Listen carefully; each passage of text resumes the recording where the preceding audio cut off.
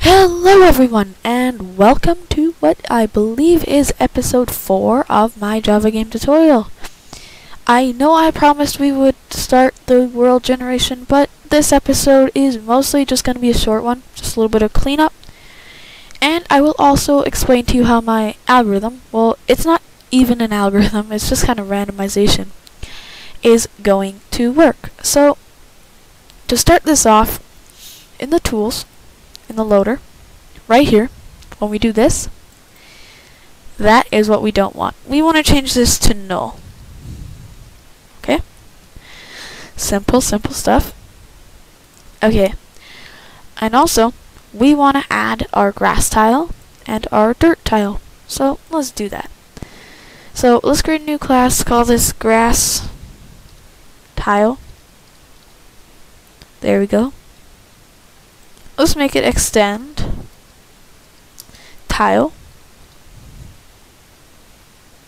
And there we go. So, for the constructor here, we won't need the image.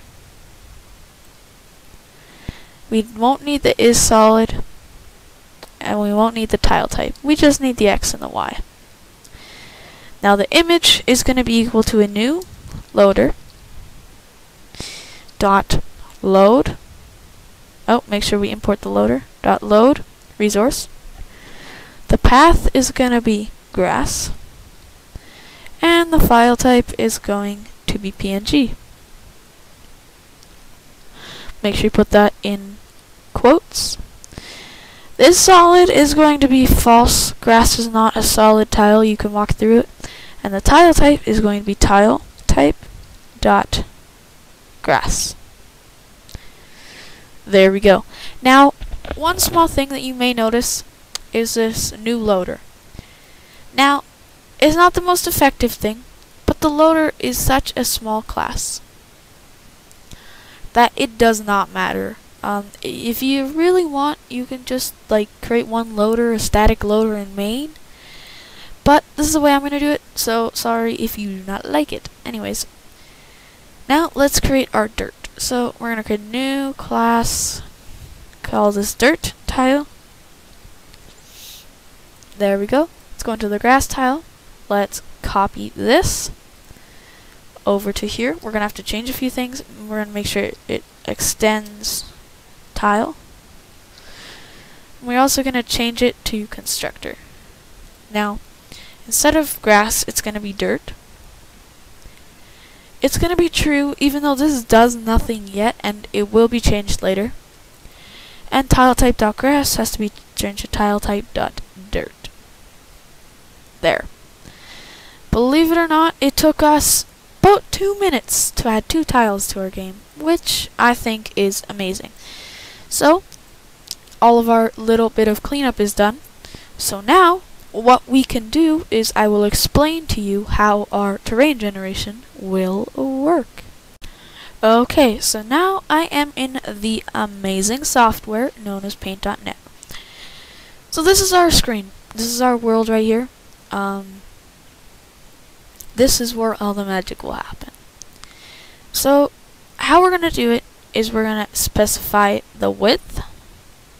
Oh, there we go and the height of the map.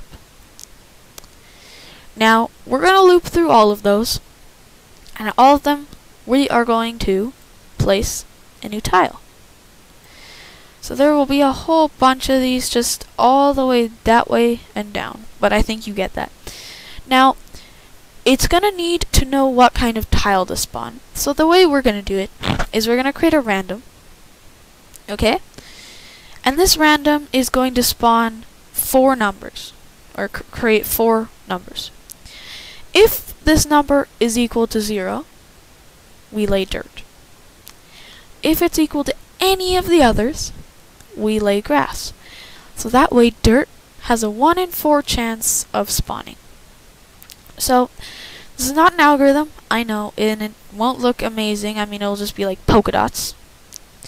But Believe me, we will get into terrain generation algorithms, and it will be hard to follow along, so I want to move that near the end of the tutorial, where everybody will have an equal knowledge of Java, and will be able to follow along. So, that is all for this episode. Thank you everybody for watching, and in the next episode, I promise, we will get World Generation done. So, thank you everybody for watching, and I'll see you all in the next episode.